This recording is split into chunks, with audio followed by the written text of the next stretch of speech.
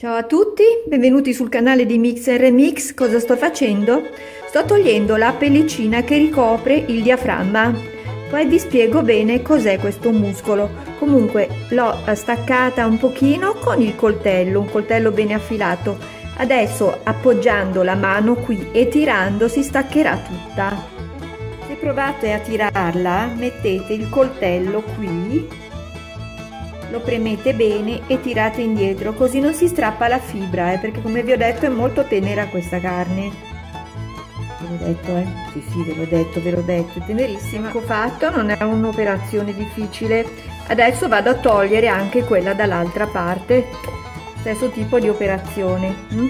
benissimo. Ecco fatto. Come si prepara il diaframma? Ehm, allora eh, si può fare alla brace ottimo alla brace anche alla piastra si può cucinare oppure eh, si possono usare eh, per tritato per fare il ragù alla bolognese anzi è proprio la carne che dovrebbe essere usata per fare il ragù alla bolognese. Eh, solo che sulle ricette poi magari non, non, la leggete questa cosa perché è una carne molto tenera molto irrorata da, di sangue è una carne che ha molto ferro eh, e anche ha vitamina B12 si presenta anche bene per quello eh. comunque se volete la potete fare a pezzi oppure mettere intera sulla griglia.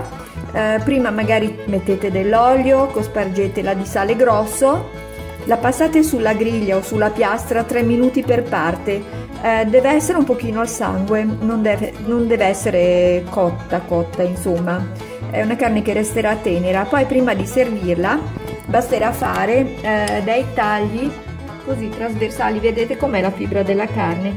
Ecco, dei tagli trasversali alla carne in modo da tagliare la fibra e poi dopo buon appetito, comunque quando, quando sarà pronta poi che mi piace molto questa parte per cui cosa ho fatto? Ne ho trovati 4 e 4 ho presi, adesso li ho preparati, devo preparare l'ultimo e poi ho finito.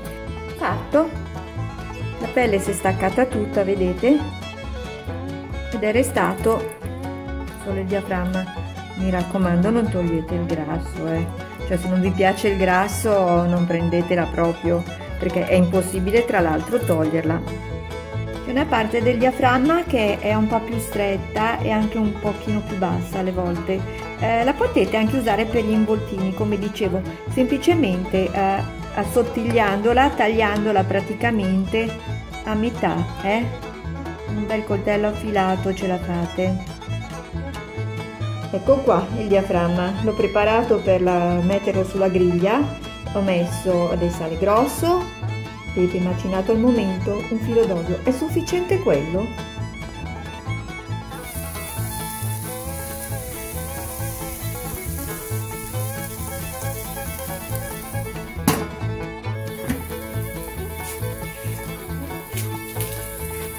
dai, tiralo via.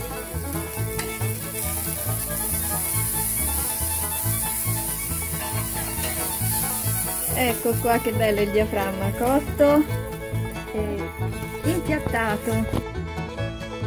Ecco qua il diaframma nel piatto, è pronto, buonissimo, buon appetito a tutti, mettete un like sul canale. Grazie, ciao!